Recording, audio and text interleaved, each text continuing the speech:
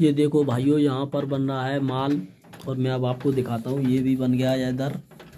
ये सिलेंडर से चलती है मशीन।